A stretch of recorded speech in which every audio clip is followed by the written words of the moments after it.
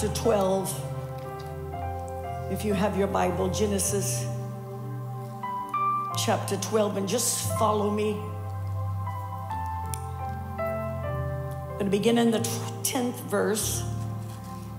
And the scripture reads, Therefore it shall come to pass that when the Egyptians shall see thee, they shall say, This is his wife.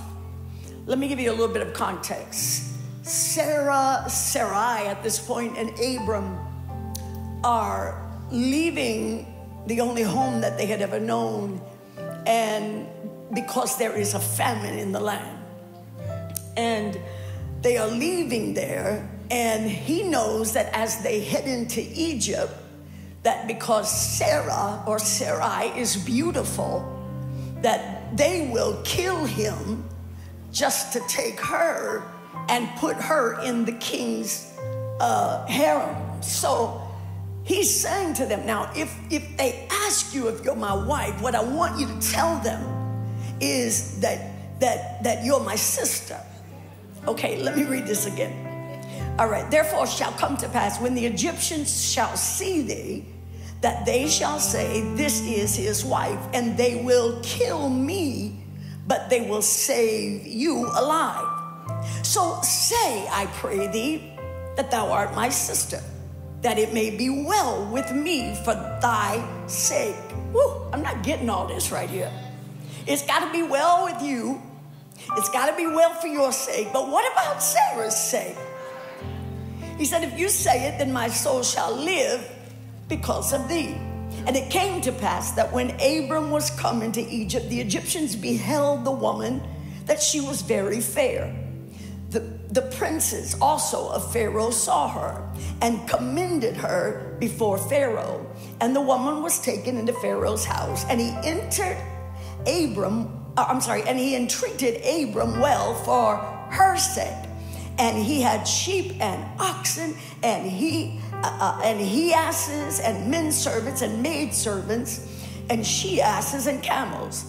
And the Lord plagued Pharaoh and his house with great plagues because of Sarai, Abram's wife.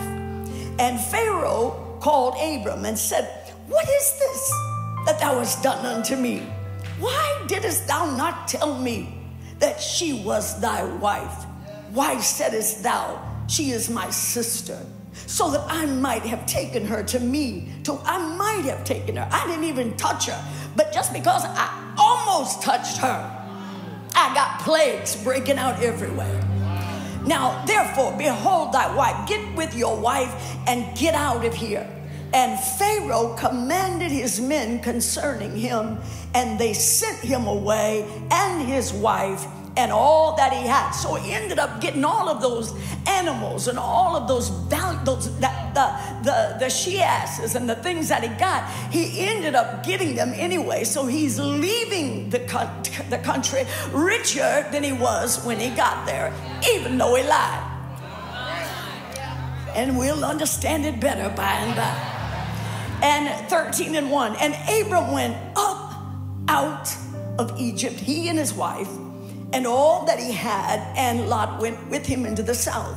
And Abram was very rich in cattle and silver and in gold.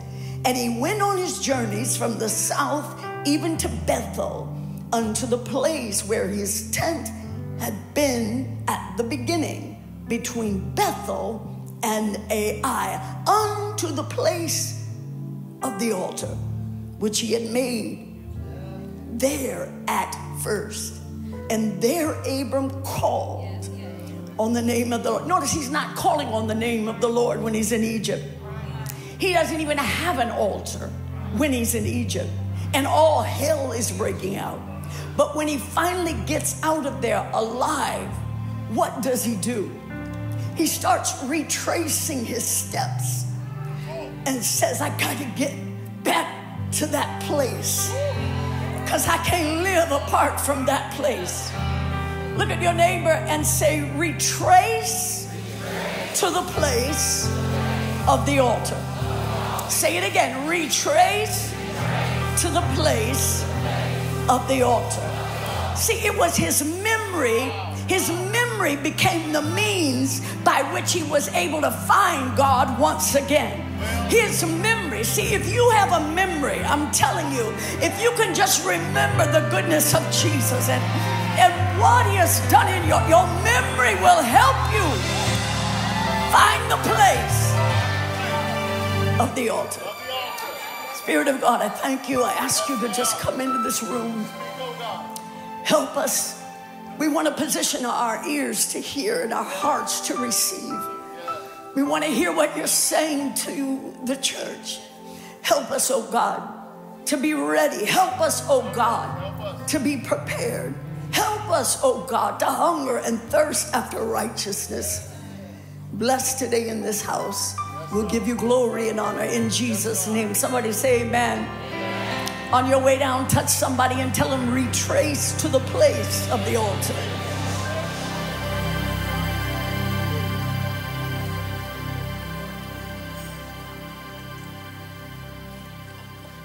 Want to give a big shout out to all of the people that served last Sunday. We had an amazing Easter service. I want to say thank you to all of you because we could not have done that without you, especially to the parking lot team for getting everybody on and off the property.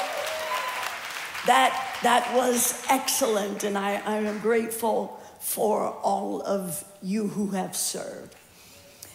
After the fall of Adam and Eve, and after the floods of Noah's day, God erected a plan, God established a plan to redeem the entire world. His choice to lead the people toward that redemptive plan was a man that we know his name is Abram. We just read about him today. We know him actually by the name Abraham, but he was born Abram. And at a very critical point in his life, and in his life story, God changed his name. And for the first 99 years of his 175 years that he lived on the earth, he answered to the name of Abram. Abram was just an ordinary member of society. He was no different from those that, that were his neighbors or his family as a matter of fact, like his relatives and like his neighbors, he worshiped idols. He was into idolatry. Yes, this is Abraham. He worshiped idols and he accepted mythology as truth. And yet it was to Abram, this sinful, superstitious idol worshiper, that God appeared. And God said to him, Leave your country, leave your kindred, leave your father's house, and go to the land that I will show thee. And he made promises to him in Genesis 12 of the things that he was going to do in his life. And because you and I are the seed of Abraham, those promises that are in Genesis 12, they belong to us as well. Yeah. So it would do us all good to just read that every now and then so that we would know the blessings of Abraham that God has appropriated for all of us. He made him promises like he said, I will make you a great nation. Yeah. Now, never mind that he never even had a son at that point, but God said, See if I won't bring a nation out of you. He then goes on and he says, And I will bless you. I will not only bless you, but I will bless you to be a blessing. So I am going to bless you so much that you will have to be a blessing to somebody else. And then he goes on and he says, And I will bless those who decide to bless you. Yeah. And he, get, he goes on again and he said, And I will curse those who try to curse you. For through you, all who, through Abraham, the idolater, through Abraham, the moon, the sun worshiper, through, through Abraham, God said, shall all of the families of the earth be blessed. Why Abram? Why did God pick him? Look at somebody and tell them it was just grace. it was just grace, the grace of God. He did nothing to earn it, he did nothing to deserve it, and only heaven knows why that God chose Abraham. God simply wanted to use him, and he appeared to him.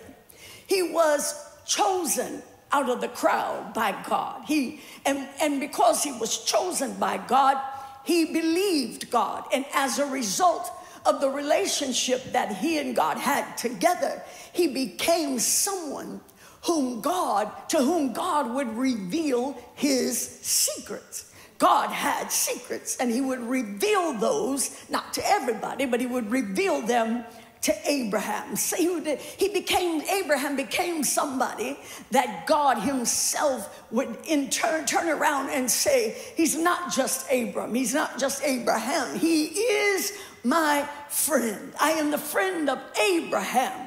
Okay? And, and, and he, he was actually one of the first great intercessors of the Bible.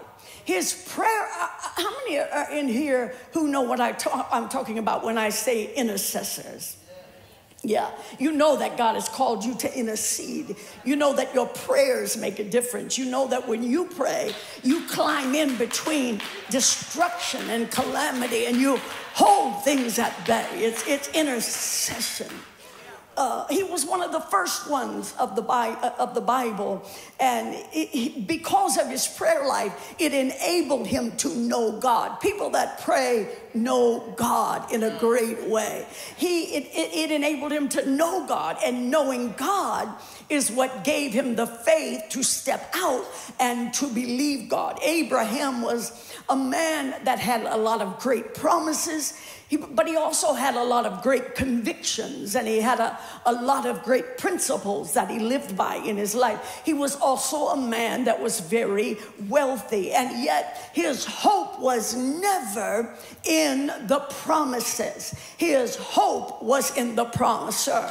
Now, here's what I want you to understand today that if I know that a lot of people fall in love with the promise, but they fail to develop the relationship with the promiser. And the promiser is so much greater than the promise that if you're going to grab hold of anything that I just said, just let go of the promise and grab the promiser. Because if you get him, you get it all. I said, if you get him, you will get it all. And he also said that if you will keep your mind stayed on me, that I will keep you in perfect peace. Abraham was greatly blessed by God, but he taught us as long as we cling to things that are material, that we will never really embrace the reality of the promises that God has made to us. Uh, the Bible says that the love of money is the root of all evil. Okay? So it doesn't say money is the root of all evil, it says the love of money. And I'm telling you, if you can get to the place where you don't love money, money will flow in your direction. Hear me? I'm not saying I don't appreciate it, I appreciate it. I need it. It answers all things. But at the end of the day, I don't love money. I just love what I'm able to do with the money that God gives me. And I've told him, if you bless me with money, I'll make sure that there is not a need around me that I don't try to reach out and fix. Yeah. Oh, it's quiet. Maybe I should talk about that. Love. I don't love money. I appreciate it, but I don't love it because I know the God who knows how to give it to me anytime that I have need of. So Abraham understood that principle and he understood that if you're going to be blessed, go after the blesser, not after the blessing. Abraham could have never become Abraham. He could have never have become uh, the father of, of faith. He could have never become God's man of faith if he had stayed where he was, which was in the Ur of Chaldees, because Ur was full of idolatry. Had he stayed in the Ur of Chaldees, it would have seriously affected the outcome of his life. Therefore, though it was home to him and though it was a comfort zone to him, he had to lay all of it on the altar and he had to step away from it in order to make an advancement in the kingdom of God. Because every step of real advancement will always involve an altar on which you have laid some very dear, fragmented, broken pieces of your life. If you don't lay, if you don't have nothing laying on the altar, then you have no reason to advance. Wow. Abram loved God. He served him. He believed him. He consecrated himself to God. He was a great husband. He was a great friend. But one of the first and foremost things that made him great was not how he dressed, what he rode, what he had, but it was the fact that he built an altar unto God. What is an altar? I know some of you know this, but just in case there's one or two that don't know it, an altar is not just the edge of the pulpit. Right? An altar is, is a place where sacrifices are made unto God. It's the place where change occurs. Has there any, been anybody that has come to the edge of the stage and you prayed and change occurred in your life? Anybody? Right. So you know what that you know what that means? That means this went from the edge of the stage into being an altar because change happens at the altar. Change is where you reach out and you touch the Almighty God. Change is where you humble yourself. And that's important because I don't care how tall you are, everybody has to look up to see Him. I said, everybody has to look up to see Him. An altar is a place that you have set aside exclusively for your communion with God. If you never own a home, if you never drive a brand new car, if you don't wear designer clothes, if you don't have jewelry or you don't have art hanging on the wall of your house, it is imperative that you do have an altar. If you never have a friend, if you never have a confidant, if you never have a child or a spouse, or if you never have somebody that you can pour, uh, pour your heart out to. It is imperative that you have an altar. Every believer, how many believers are in this room?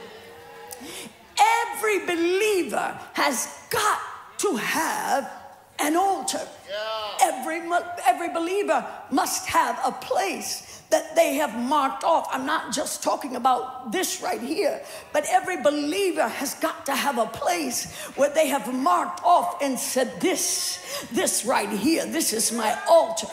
You have to have an altar in your house. Maybe it's your closet, maybe it's maybe it's somewhere you go on your job. Wherever it is, you got to have an altar. An altar is a place where you separate and you isolate yourself. An altar is a place where you shut yourself in and you shut the world out. There also has to be an altar within you, the vessel. There has to be a part of your life that you designate this part right here belongs to God.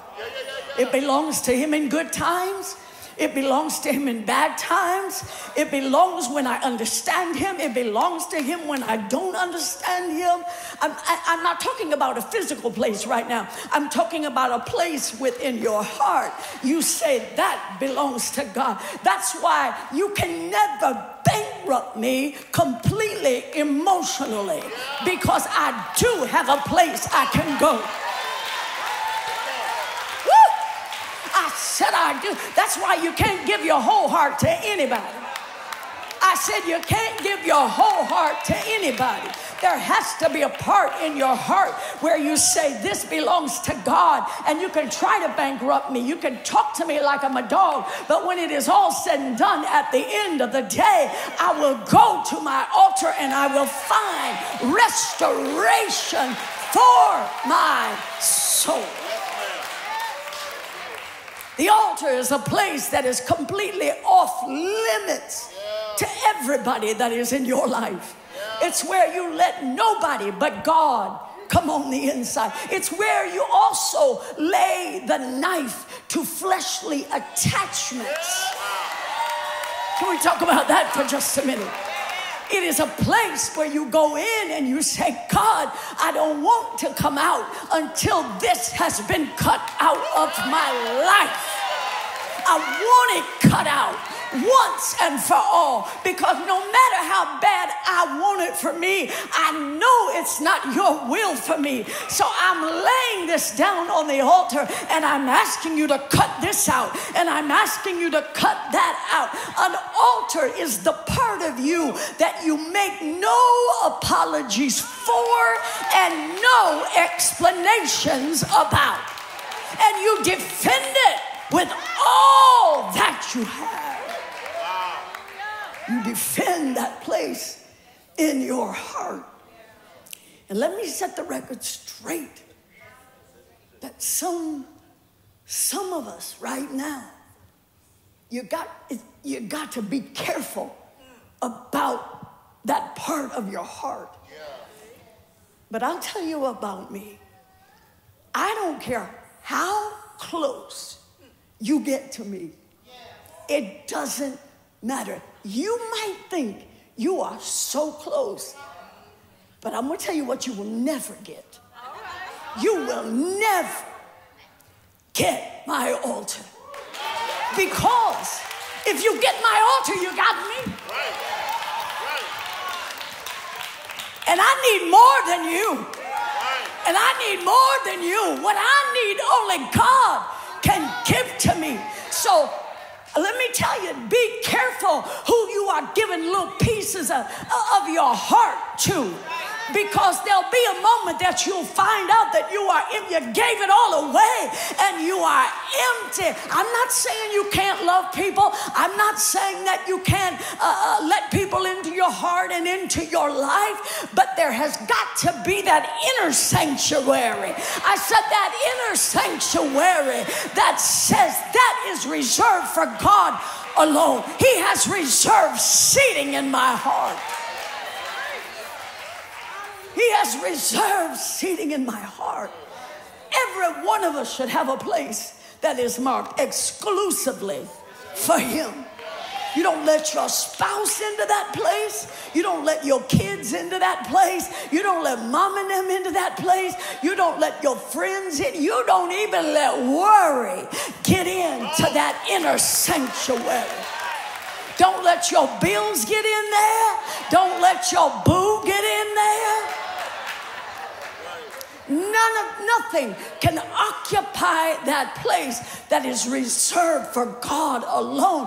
Why? Because it is in that place that God restores and God renews and God preserves and God stabilizes you. But He ain't gonna do it as long as you got other things in that spot. No idolatry can go into that spot. I am who I am because of the place I am who I am because of my altar. I am who I am because I have, He has reserved seating in my life. And if I give it up, then I can't be the woman I need to be. You can't be the man you need to be, or the friend, or the mother, or the leader, or the pastor, or the preacher that you need to be if you give up His seat to somebody lesser. Why is that such a big deal? Well, I'm glad you asked. Because if I lose my altar, then I lose my convictions. And then I lose my consecration. I lose my standards. My standards go down. Have you ever noticed when you stop praying, the thing that you look at and you say is cute? Six months ago, when you were in the throes of prayer, you wouldn't have given that the time of day. But now you say it's cute because your standards.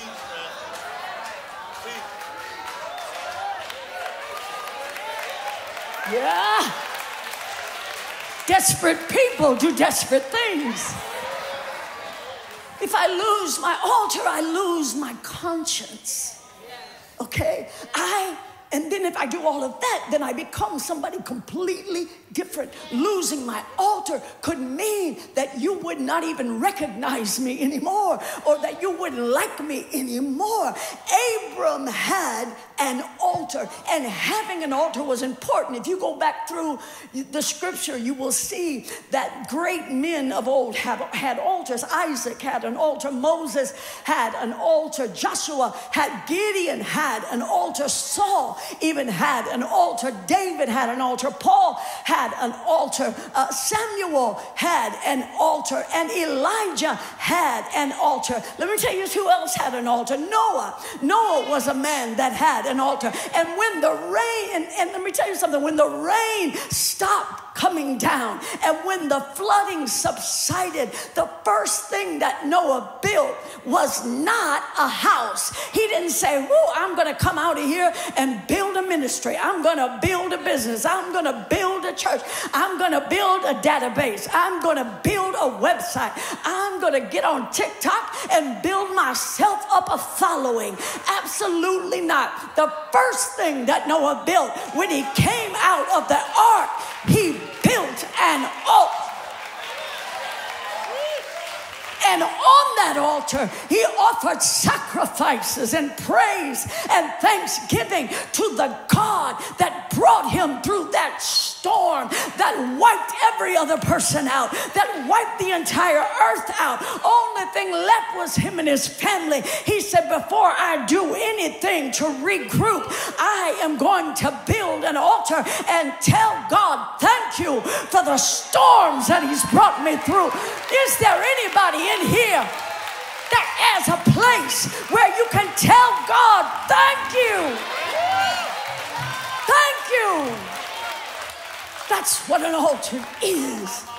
The altar is where you say, Thank you, God. It's where you wrestle down your flesh. Your flesh is going to want to go to the right, and your spirit is saying, No, go to the left. And so there is a war within your members. What do you do? Call my friend? No, you call on Jesus. You go to your altar and say, God, my desire is going one way, but my spirit is pulling me another way. And right now, I need my soul to turn in the direction unto thee, oh Lord. Do I lift up my soul, my will, my mind, my intellect, my emotions? I, I, it turns at place of the altar. The altar is where I learn to cope, it's where I learn to find hope, it's where my heart learns that it can keep on going on. The altar is where God increases and Sheryl decreases. God, what are you saying? I'm saying that God meets us at the altar. Look at somebody and tell them if you don't have an altar, you don't have a meeting place. God meets us at the altar. At the altar, He gives answers at the altar. Things that you've been worrying about, things that you've been stretching, stressing out about. If you take it to the Lord in prayer, He gives answers at the altar. He gives direction at the altar. He gives counsel. I wish I was in a church that prayed because y'all could be saying amen right there. He gives strategies. Uh, has God ever given you a way out? The altar. When my heart is overwhelmed, I don't run to people. The first place I run to is the altar. Why? Because he said, Call on me in the day of trouble, and I will deliver you. Abram had an altar. He was, he was a man that had faith. He had an assignment that God had given him. And he did really good until he went to Egypt. It doesn't say he went into Egypt. But if you read that, you know, I tell y'all to read your Bible word by word because if you don't read it word by word, you'll miss very important things. But that verse says that he went down. Clue, that's a clue, okay? He started a spiral downward when he went into Egypt. Going down into Egypt would be pretty much the equivalent of us aligning ourselves with the world, aligning ourselves with the world system. It would be us depending on the arm of the flesh. And Isaiah said, Woe be unto them that go down into Egypt for help. Don't go looking to the world to help you. If you want to take help to the world, take it. But don't go down to the world looking for help. That's what Isaiah said. Now, I, I, understand that, that, that, that Abram was in a famine. I understand that Sarah was with him, and I get that. But I will say this he would have been much better off in where he was in a famine with God than going down into Egypt where there was plenty, but you didn't have God at that point, you would have thought that the man of faith would have just thrown the responsibility back on God and say, God, you're the one that brought me here. You are the reason that I am here. I will trust that you will meet every need that is in my. So I'm going to stay right here until I clearly know the way that you would choose for me to go. And rather than trying to see the famine are trying to see uh, uh, God through the famine. He should have just stayed right there. And God would have met him because his name is Jehovah Jireh. Whatever you're in, his name is still. Wherever you are, his name is still Jehovah Jireh. What does that mean? That means He is my provider. I'm in a fight, but He's with me. I'm in a storm, but He's with me. I lost my job, but He is in it with me. And He will provide. Abram was God's friend, and he was a man of faith. He was a man of integrity. He was a man of character. But he went down into Egypt and he found himself being sucked into a lower system. He was sucked into paganism. He was sucked into evil. He was sucked into I, I was to everything that you can imagine. God's friend. I'm talking about God's friend. If that can happen to God's friend, don't tell me that it can't happen to you. He found himself overwhelmed. And now the man of faith, this man of faith starts acting like a man of fear. Who is the woman that is with you, Abe? Oh, oh her. She, that's my sister. Her name is Sarah. Sarah, meet them. Sarah's my sister. But he lied. Uh, I know technically she was his half sister. But when he said it, he meant it to be a lie. Because the motive behind what he said was I want you to do this for me, Sarah, because if you don't, they might kill me, and I need it to be well with me. Never mind what they're going to do with you, but I need it to be well with me. So there was an element of truth, but he meant for it to be a lie. And now, because of what he is facing in his life, because he is in Egypt, now this man of God, this man that's filled with faith, he begins lying. Quiet. Why would Abram lie? Because one sin is never enough.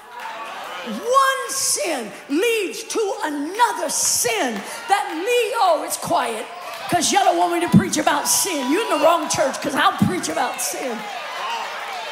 Oh, yes. You can't shout about the blood and not preach about sin. Come on, y'all. What do I need the blood for if I don't sin? We need the blood. So now he is not, he's not just he's not just stepped outside of the grace of God, but he is also a liar. God's friend is a liar. When Abram lost his altar, he lost his faith. He went down into Egypt. And in Egypt, he lost his courage. And now he's become a liar. Whew. You'd be surprised to know how many people will lie in the name of Jesus.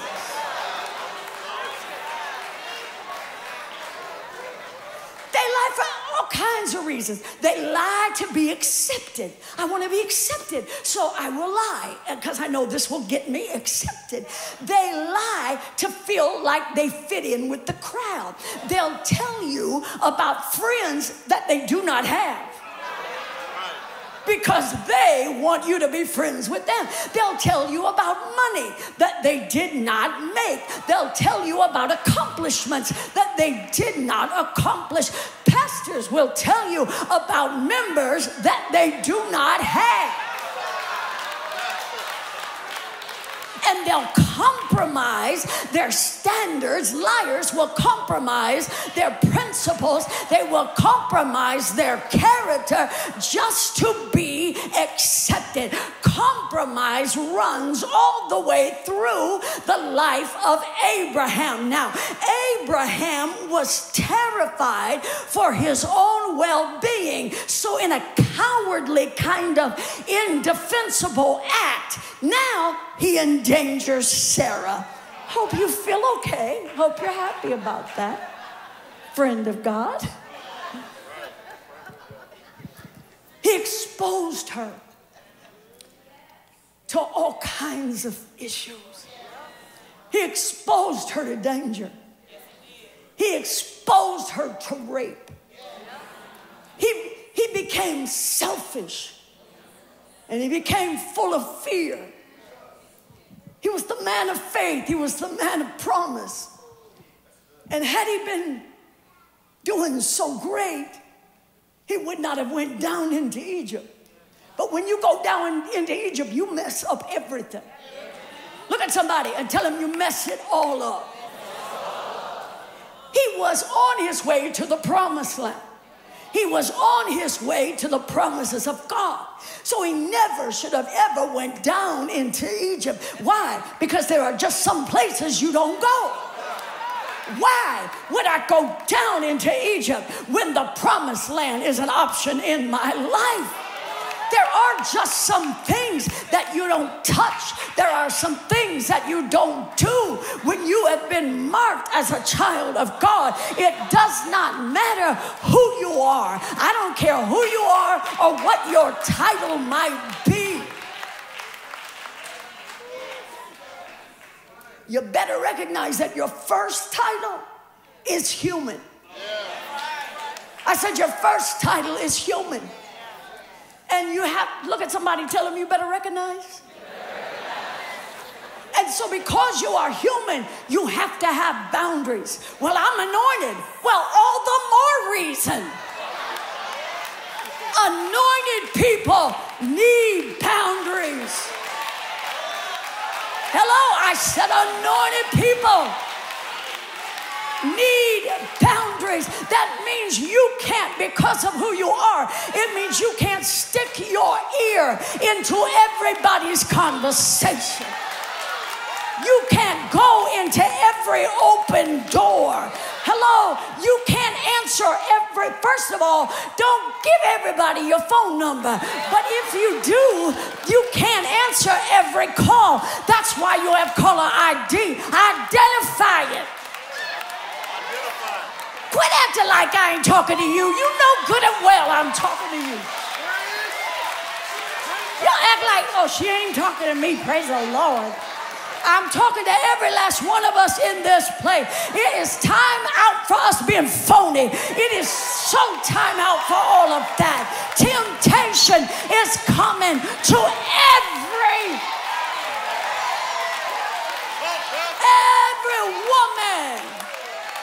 every man. Sometimes we need to stop churching and shouting long enough and stop trying to impress people long enough for us to say, I need to identify what is tempting me. My issue is not your issue, your issue is not my issue. But I'm going to tell you something we are all God's children, got issues. And if we don't identify them, they will become huge distractions. I said, if we don't identify them, they will become huge distractions. And other people, they may, may be able to handle it. But it's too much for you. Look, I can't tell everybody this because I can't see in everybody's eyes. But if y'all will let the Lord use you right now, look at somebody in their eyes and tell them it's too much for you. So what do you do? You keep walking. You keep staying focused. You don't pass go. You don't collect $200 because you have some Delilah distractions. Yeah, you have Delilah distractions. And when I say that, I'm not just talking about Delilah or a woman, okay? I'm talking about you have a distraction like Samson did, whose name was Delilah. And when you know that, you say, I can't afford to play with that because I know that's that's a problem for me. So I got to turn that off. I can't be doing that. I can't give myself to that. If I keep laying my head in the lap of my distractions, I'm going to lose my hair. I'm going to lose my strength. I'm going to lose my life. And I'm going to keep on tripping over these are areas of issues. You have to identify them. You have to admit them and you have to stay away. Write that down. I got to identify, I got to admit, and I've got to stay away. And, and another thing, I don't care who tells you that it's okay. For you, it is not okay. Well, I just want to win them to Jesus. I just feel like I could win them. Stop it. It's not time for you to do that right now. And I don't care who all can do it. You cannot do it. Where you are concerned, it is not okay. It is not all right. Be careful who you talk to when you go down into Egypt. Oh, it's no big deal. It is a big deal. Why? Because it could set you back, could send you through a relapse. It could make you relapse and fall back into what you have worked so hard to get out of. I don't care who all can. I care that you can't. And now you got to work out your own salvation with fear and trembling. And until you get some things worked out, Stay away. Because you ain't strong enough yet. And a man that don't know his own fool, uh, his own limitations, is a fool. Look at somebody and tell him, don't be a fool. Sin is expensive.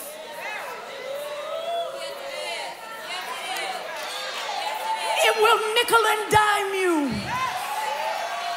until it hits you what you just paid to be in the full throes of sin. It's expensive. It'll cost you your stuff. It'll cost you you. It'll cost you your joy. It will cost you your peace. It'll cost you your freedom. It will cost you the influence that you worked hard to get. Abram went down into Egypt and he compromised his wife's safety. And the minute he did it, he, he thought, oh, God, why did I just do that? You ain't got to say nothing but if there's a root of God, anything in you, the minute you do it, oh God, why did I do that? Come on, anybody will admit that to me? Oh God, why? Why? That was so stupid. That was so crazy. I know better than to do stupid stuff like that. What was I thinking?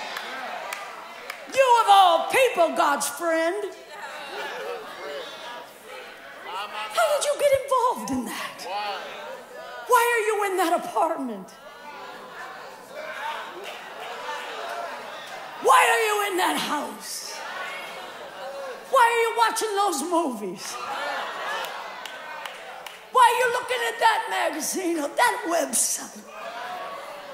Why are you listening to that music? Because music has power. I said music has power. And if you ain't careful, it'll break you down. Why are you watching that?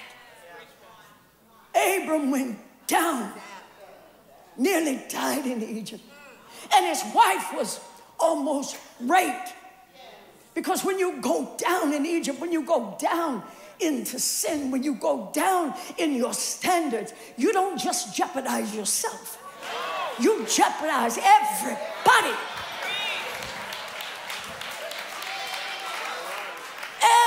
Everybody that is around you. You jeopardize your family. You jeopardize your reputation. You jeopardize your ministry. You jeopardize your name. You jeopardize your focus. You see, when you go down into Egypt, things that you used to have under control. You prayed to get them under control. You had them lay hands on you to get them under control. But now the thing that was under your control is out of control again. Because you went down into Egypt. And once you allow yourself to become desensitized, little by little, once you allow yourself to become lazy in your prayer life, once you allow yourself to back off out of your Bible, you allow yourself to stay home a couple Sundays. You allow yourself, oh, I just let down my guard just a little bit. Yeah. Once you let down your standard, can I tell you, flesh increases in Egypt. I said, flesh increases in Egypt. Flesh will rob you from the promises of God. Flesh will start flexing every muscle it has when it is down in Egypt. It's frightening because you've given it an inch, but what did it do? It took a mile. And now it's embarrassing because stuff that you used to have the victory over now, once again, has the victory over you. It has the power over you. Stuff that you used to have under your feet, now it's on top of your head. Stuff that you reckoned as dead. Oh, God, it's alive and it's well. And you don't want to tell anybody that you're losing ground. But that's exactly what is happening. It's embarrassing because so many people respected you.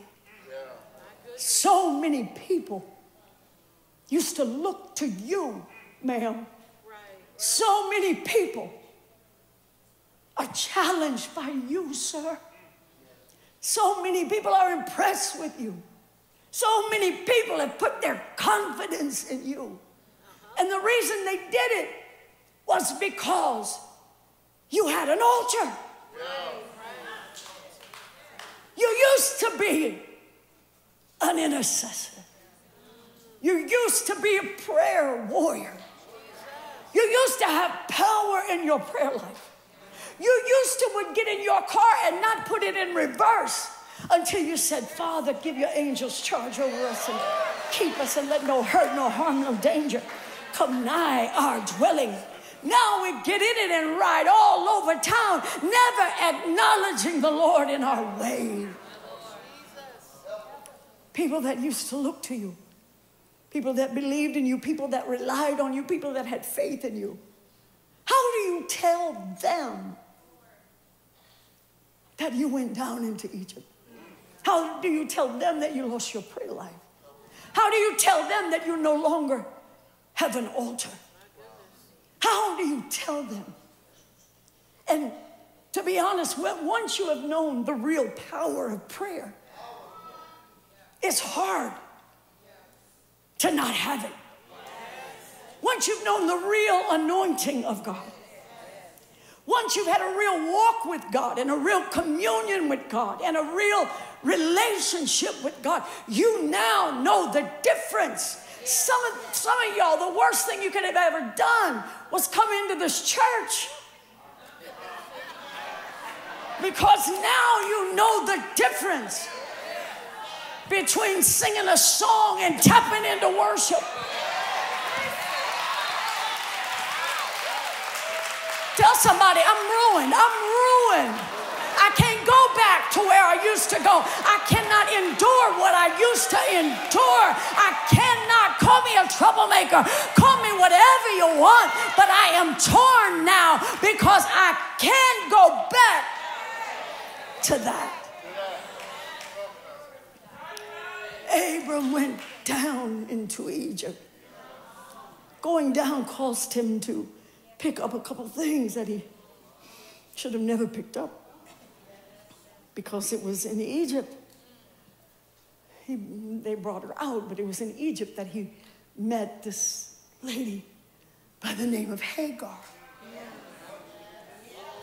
So he picked up a relationship that was never the will of God for his life. Y'all don't have to act like you know what that's like. He picked up a soul tie that he should have never been tied up with. He made the wrong decisions, the wrong choices. He made the wrong connections. He connected with somebody who pulled an Ishmael out of him. Do y'all know what Ishmael's name is? He, his name is a wild ass. The friend of God hooked up in a relationship with somebody who pulled that out of him. Yes, he slept with the bound. And as a result, he became bound himself. Because you will never lay down with less and ever get up with more. Never, never, never. Let me say it like this if you lay down with dogs, you gonna get up with fleas. He would have never met her had he not went down. Look at somebody and tell him Hagar's waiting on you in Egypt.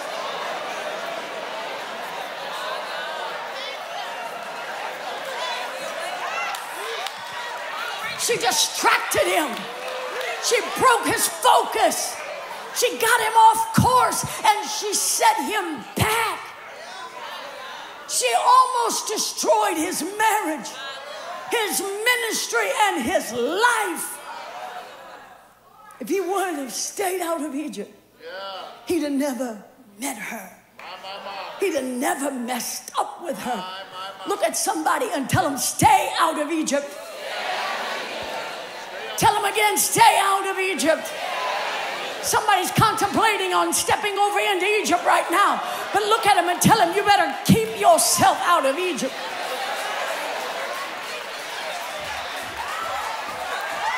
You're going to jeopardize everything. You'll jeopardize your future. You're going to jeopardize your family. You're going to jeopardize your destiny. You're going to jeopardize the assignment of God in your life. He jeopardized his wife. And he has no idea at this moment that endangering Sarah meant he was endangering the promise of God. She was beautiful. But had it not been for a God who sees everything and knows everything, she would have been raped. Look at how his whole family is now at risk. Why? Because he lost his altar, because he lost his prayer life, because he lost his boundaries. He has compromised her safety. Why? Because he disregarded all the flashing lights. He disregarded the warning signs. He disregarded the very thing that was there to protect him. Now he has went over the edge. And this is what I want you to know. Sin doesn't only affect you. It affects everything attached to you. So if you don't want to get right for yourself, do it for them. Do it for your son. Do it for your daughter. But whatever you do, tell somebody, stay out of Egypt. Abram has lost his altar. When you lose your altar, you set your whole family up for destruction because they will become exposed to things that they would have never been exposed to. They're exposed to sin, they're exposed to danger, they're exposed now to disease. They're exposed to hate. They're exposed to evil. They're exposed to crime. They're exposed to destruction. All because somebody that they were riding with jumped the guardrail and lost their altar. Abraham, when he wouldn't speak up for Sarah, she still had a man in her life that said, I got you. And God told Pharaoh in so many ways, sent plagues and all kinds of plagues into Egypt. He said, Listen, my friend Abe, he ain't told you the truth. That's not his sister. That's his wife. And you better not touch her. Don't put your hand on that woman right there. Because, see, Sarah is a praying woman. And if you touch Sarah, if you start messing with somebody that has a prayer life, if you take advantage of this woman right here, I will turn this entire city upside down. Church, you better be careful who you go to grabbing for, who you go to reaching for, who you go to laying hands on, who you go to striking out against because that's probably why some of y'all are in debt right now and out of money. You're in debt, but you're out of money because God can't bless you because you're grabbing things that you have no business grabbing. When you lose your altar, you lose your convictions. And you start touching whatever you want. I'll touch whatever I want to touch. I'll do whatever I want to do. Uh, you thought you could do it and get by with it. Look at God. He brought you to church today and brought me to church today, and He said, Preach on it.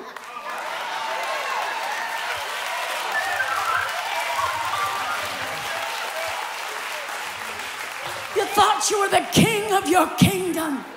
You thought you were, I'm not, and, and let me tell you something, I'm not just talking about men, I'm talking about women in this place too. You thought you were the queen of your castle. You thought you were the king of your game, but even kings are held accountable. God said, I am the king of, and I am the Lord of lords. And sin when it is what? Look at somebody and tell them it might not be finished yet. That's why you okay. But sin, when it is finished, it brings forth death. Look at somebody and tell them finish it before it finishes you. If you touch that woman, I'll shut you down. I'll curse everything that you put your hands on, Mr. Pharaoh. And it might not happen all at once, but little by little, piece by piece, like Samson, you'll jump up to do what you have always done, except now you have no anointing to do it.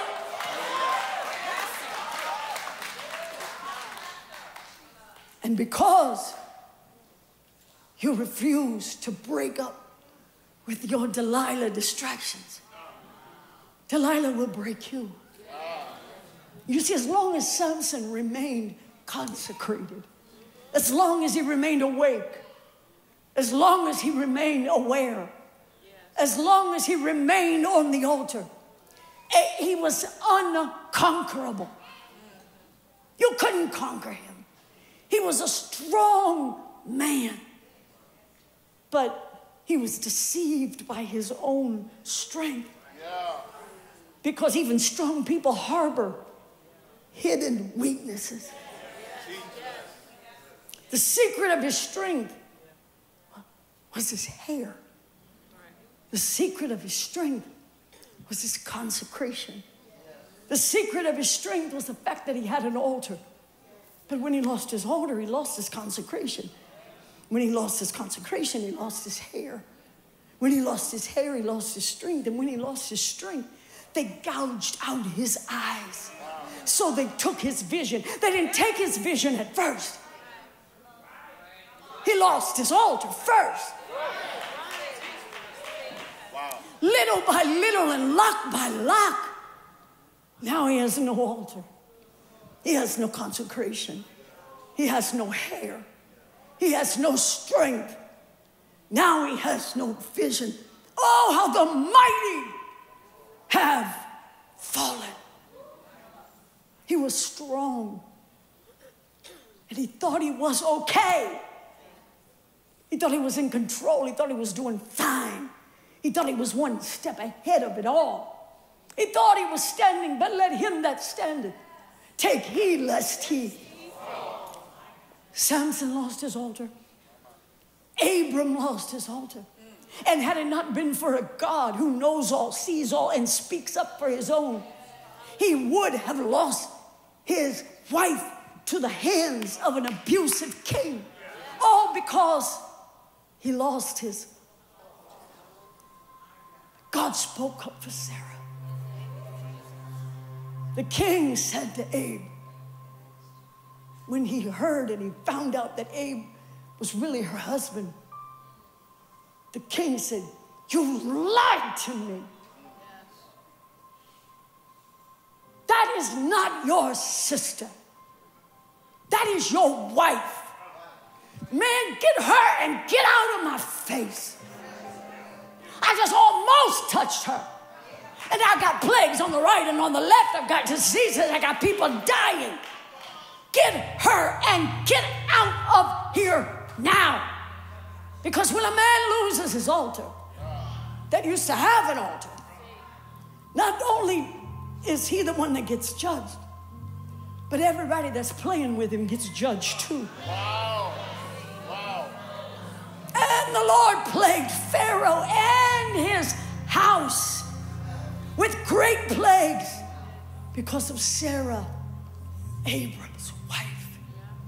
And those who served his lust were punished with his plague. Partners in sin, partners in punishment. Get her out of here now. Abe lost his courage. When he lost his courage, he lost his faith. When he lost his faith, he traced it all back to the fact that he was in Egypt and he no longer had an altar. His only recourse was I need to retrace my steps.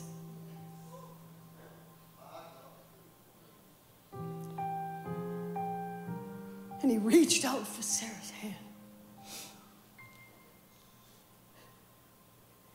He said, Sarah, I'm so sorry. But I promise you, I got us into this. But I'm going to get us out of it. I messed it all up. You could have been hurt. But I'm going to get us out of here. Yeah. We're coming out of this place. I'm, I'm coming out. You're coming out. I failed you. Let me just say it. I failed you. I'm not going to try to shift any blame. I failed you. I let my standards down. But we're coming out of it. I failed God, but we're coming out of it.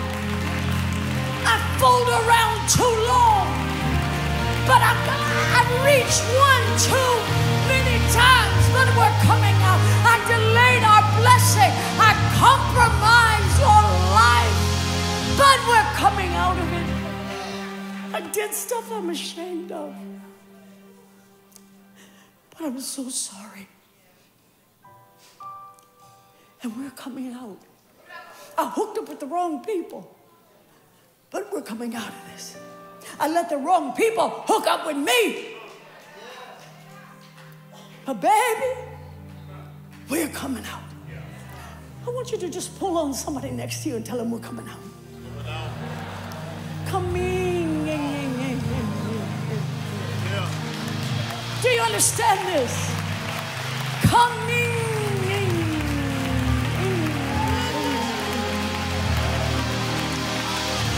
It's not an event, it's a journey. I'm coming. I'm not where I want to be, but I'm coming out. My feet are headed in the right direction. I'm coming out of it. Thank you for mercy. Thank you for grace. It may take you a minute, but you can come out of it. Trust will have to be rebuilt, but you're coming out of it. Woo! I'm on my way back to the place that I had in God. I'm on my way back to the relationship that I had with God. I want my prayer life back. I want my consecration back. I want to build my altar back. God has been too good to me for me to lose my altar. How? How could I forget what you've done for me? How can I forget how you set me free? How can I forget how you brought me? Jesus, I'll never forget. Nothing I got in Egypt is worth my altar. Nothing I got over there is worth what I get in my altar. Because I remember, I remember how you used to meet me. You would meet me at my altar. When I would kneel down, you were there. You would sit with me in the altar. You would pray through me. There would be times I would start praying, but then all of a sudden the Holy Ghost would take over. And now you were praying through me. You were praying the perfect will of the Father. Abram said, I remember that place. And I'm not going to stop, Sarah, till I get back to that place. And Abram went back to the place where his tent had been at the beginning. Tell somebody my first love. I'm going back to my first love. I'm going back to the place of the altar. And when he got there, he called on the name of the Lord. He went back to his place of consecration, his place of communion with God. He went back to his altar. He went back to the scene, back to the scene where he first knew God. When you feel away and you feel lost and you feel like you don't know what to do,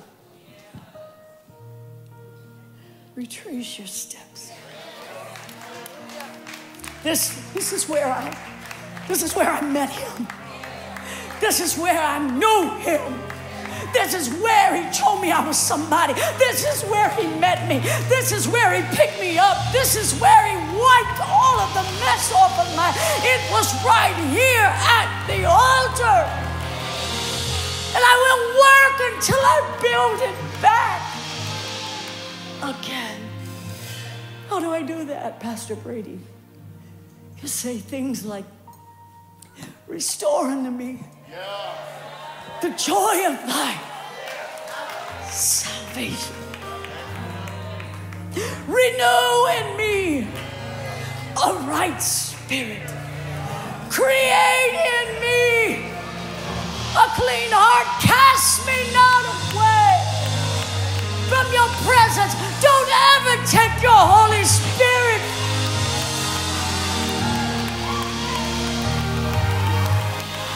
Don't take your spirit from me. Cleanse me from my secret faults. But the words of my mouth and the meditations of my heart, I don't want to think about anything that is not acceptable in your sight.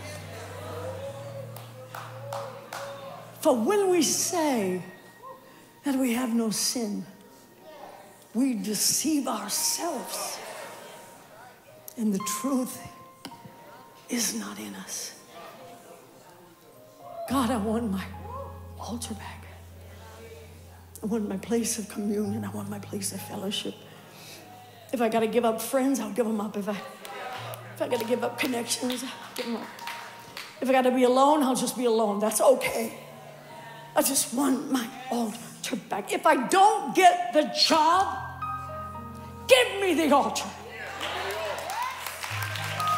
If I don't get the house, give me the altar. If I don't have the title, I've got to have the altar because I can't be who I'm supposed to be without you. So I want, I want it back. And I'll worship my way back. I'll pray my way back. I'll serve my way back. I'll give my way back because I got to have my altar. I want my altar back. I want my prayer life back. I want my consecration back.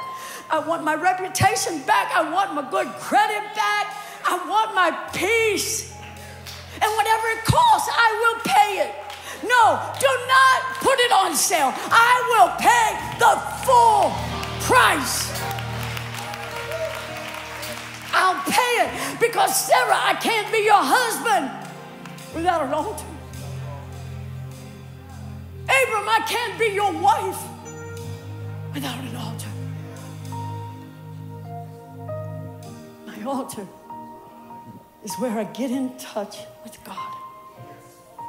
And not having an altar is like living in a house without a phone, without a computer, without any of that. You just feel utterly disconnected.